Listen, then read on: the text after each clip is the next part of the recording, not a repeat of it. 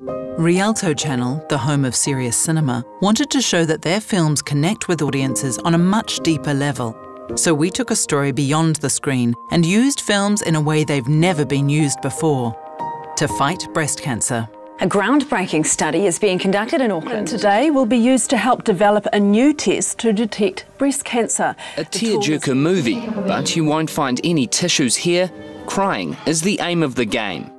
Breakthrough research has discovered that tears could be used to detect breast cancer. And nothing makes you cry like a good movie. So Rialto Channel partnered with research company Ascendant DX and the Breast Cancer Foundation to create the breast cancer screenings a unique research event in a cinema, playing films designed to get hundreds of women shedding tears, which were collected by scientists and used to further this breakthrough research. To have the chance to collect so many samples at once is, you know, normally we collect from no more than five people at a time, so having 140 people in a theater at a time is going to be really great.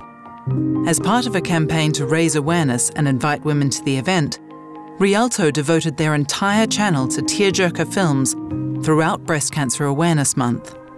These were curated by film critic Helene Ravlich.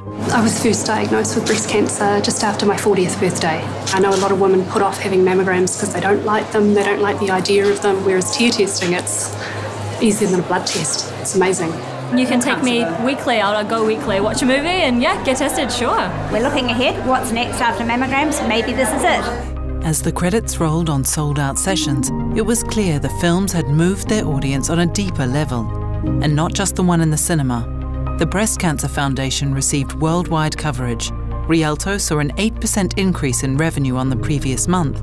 And most importantly, the researchers received a huge sample bank of tears, demonstrating the power of a good film.